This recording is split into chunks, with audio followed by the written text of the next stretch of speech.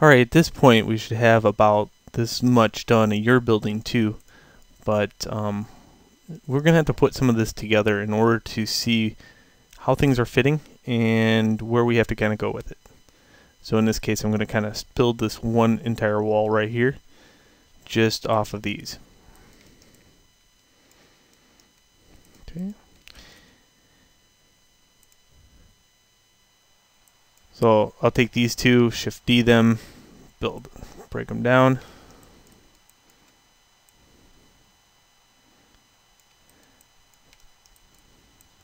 And I see right off the bat that I'm going to need another one down here. Again, I don't like to model a new piece. I'd rather reuse another piece over here. So I'll use this piece for the ground area. That'll keep the windows off the ground.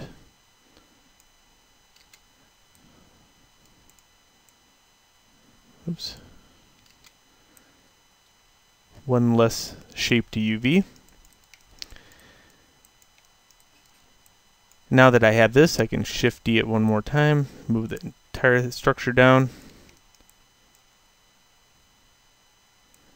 I want to try to make it so it's not, it's just barely touching here, just to seal it off just a little bit, but nothing that back faces are going to appear. Alright, so there's my structure right there. I got six windows across, six windows at the bottom, uh, just like the picture. So is there anything else that we need to kind of work on? Yes, we have to work on, it's it's a little thicker on this, I guess not, it's not a little thicker, but it does run the entire length on the side on this one. So uh, I could take and build a long one. But if I did that, it's going to be a useless piece. I would probably rather make something that looks like this.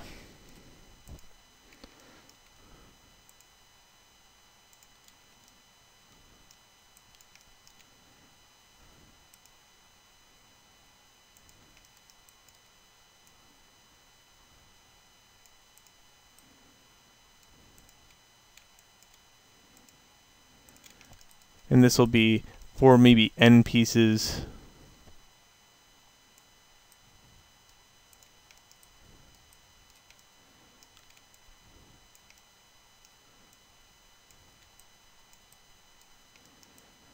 Hmm. Nope, I'm going to make a new variant of the last one.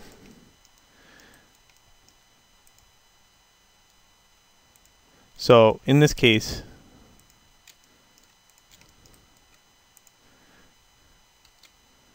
duplicate all these, take the vertices,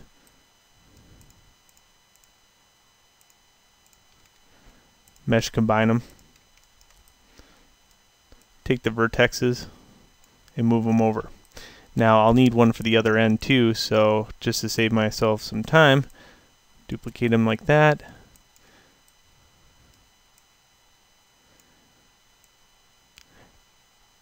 Just like that and this side I would have to do this side.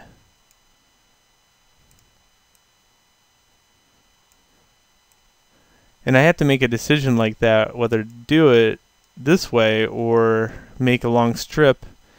But in this case, you know, I could always use these models over. Let's say I wanted to make it so the windows are this far apart. Well, I can just use these two models over and over again. It's a handy piece. So.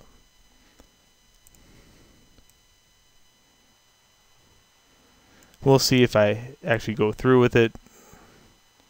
Might keep it, I might not. But that does look a little bit more put together. Um, not like in uh, one, two, three, four, five, six. Ah, gotcha.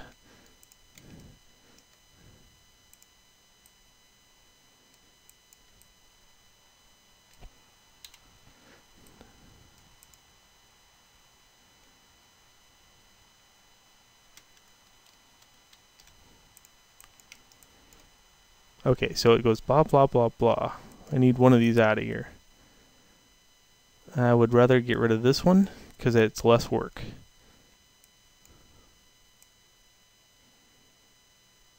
There we go. That looks better.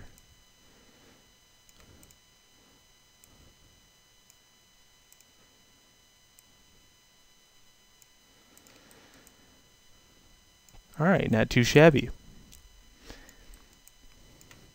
Again, I need to know what the old, the whole entire building looks like. I can always tear this apart and get chunks off of it later. Uh, so I'm going to combine the entire wall. Shift D it to duplicate it. Jump into my top view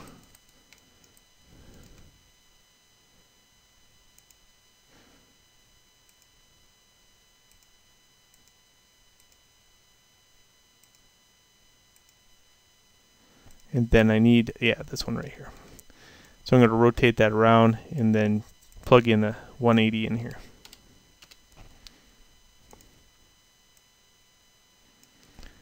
I'll just line those up as close as I can get them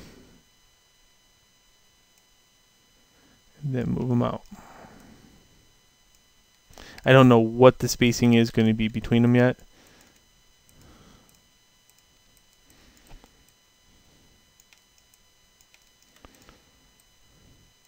Get rid of some of these chunks.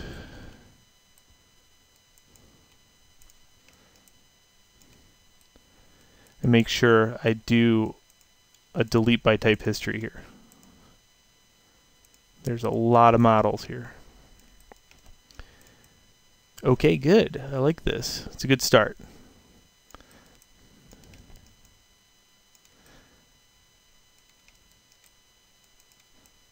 I need a thinner chunk for the side so I can run them this way. So I'll go mesh separate. This will take a minute. And I'm going to steal this entire row.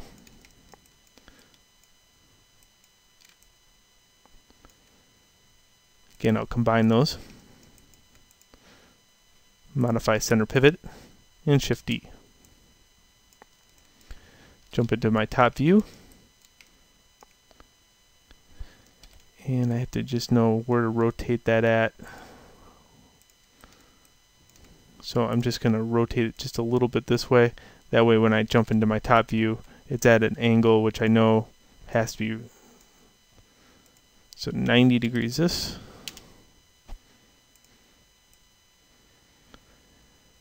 Now we have to worry about backface culling, so what I'm going to do is put it right here.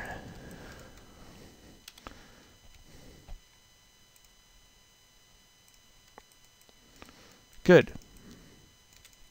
I'll make variances here in, a, in the next video, but for right now I'm just looking at sizing. Okay, I want to I want to say three wide, maybe four.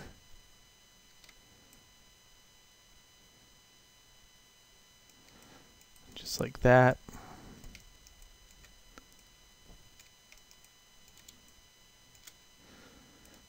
Combine back all those. Make sure they're all combined. Modify center pivot. Move those out.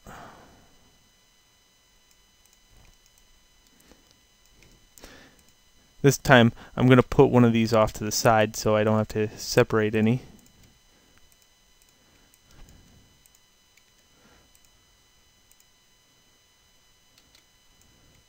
Another way you can do this is scale it negative. So I think a scale of a negative 1 here would just flip it around. So that's another way, instead of rotating it.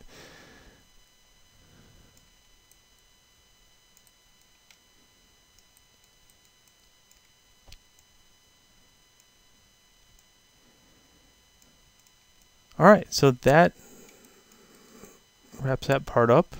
What I had to do is just make sure the pieces do fit together at the scale they're at now. I do really have to step back and look at this camera problem, whether it's a keyboard problem or a mouse problem.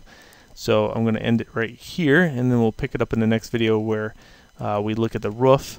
You should have your building put together by now too. So that means, you know, work all the way up to the process that I have now with your building before you continue on with the videos. Alright, so see you in the next one.